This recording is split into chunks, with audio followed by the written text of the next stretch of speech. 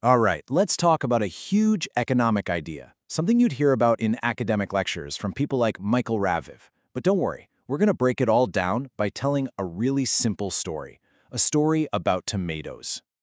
So you've probably noticed this, right? You go to the market and one week tomatoes are a bargain, the next week they're a little more expensive. It feels kind of random, but I promise you, it's not. There's a really powerful force at work, this constant tug of war going on right behind the scenes. To get it, you just have to meet the two main characters in our story. On one side, you've got the sellers, the farmers. Their goal? Super simple. They want to sell their tomatoes for the highest price they can possibly get. On the other side, you've got the buyers. That's you and me, and we want amazing tomatoes for the lowest price possible. These two totally opposite goals are what makes the whole market tick. So, what happens when these two sides are just not on the same page? Well, that's when things get interesting. Let's see what happens when the market gets the price totally wrong. Okay, let's start with a crazy scenario. Imagine you walk up to a market stall and the sign for tomatoes says 100 shekels for one kilogram. I mean, that is just outrageously expensive. At a price that high, the farmers are thrilled. They're thinking, wow, let's bring everything we've got. They're ready to supply 500 kilograms of tomatoes. But us, the buyers, no way. At that price, almost nobody's interested. The entire market only wants to buy like 2 kilograms total. You can see the huge disconnect right there. And in economics, there's a word for this. It's called a surplus. It's exactly what it sounds like. Way, way too much stuff. The amount available just completely swamps the number of people who actually want it. So here's the key part. What happens next? Well, those sellers are now stuck with warehouses packed with tomatoes that are about to go bad. They can't sell them for 100 shekels. So what do they do? They have no choice. They have to start dropping the price. You can almost feel that pressure pushing the price down, down, down. So, that's one side of the coin. But what if the market messes up in the complete opposite direction? Now let's flip the script. Imagine tomatoes are an absolute steal at only 5 shekels a kilogram. A price that low is going to have a huge, but completely opposite, effect on everyone. And here you can see the flip side perfectly. For just 5 shekels, everybody wants tomatoes. The buyers are lining up wanting to buy 320 kilograms worth. But the farmers, for that little money, it's hardly worth their effort. They're only willing to supply a measly 20 kilograms.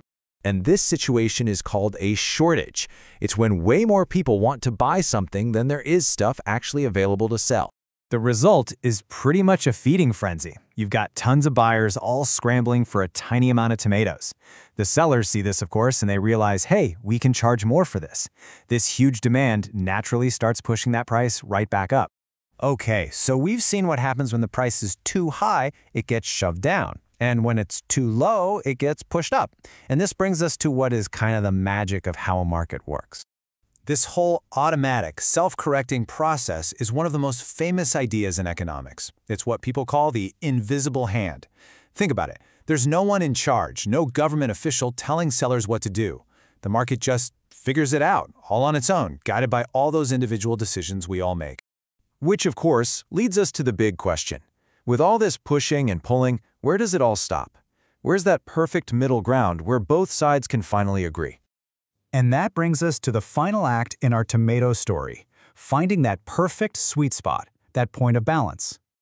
So let's look at all the numbers. At 100 shekels, a massive surplus. At 5, a huge shortage. But check out what happens at 10 shekels. The amount sellers want to supply, 100 kilograms, is exactly the same as the amount buyers want to buy. It's a perfect match. And this magical point has a name, market equilibrium. It is the one single price where what the sellers want to do perfectly lines up with what the buyers want to do. This is the price the market is always, naturally, trying to find. So what does that actually mean in the real world? It means the market clears. There are no sad farmers with rotting tomatoes. There are no frustrated shoppers who have to go home empty-handed. Every single person who was willing to sell at 10 shekels found a buyer, and every single person willing to buy at 10 shekels got their tomatoes. It's just the most efficient outcome possible. But here's the thing, and this is why prices are always changing. That perfect balance is just a moment in time. A bad storm, a new health craze, a sudden heat wave, literally anything can change the supply or the demand.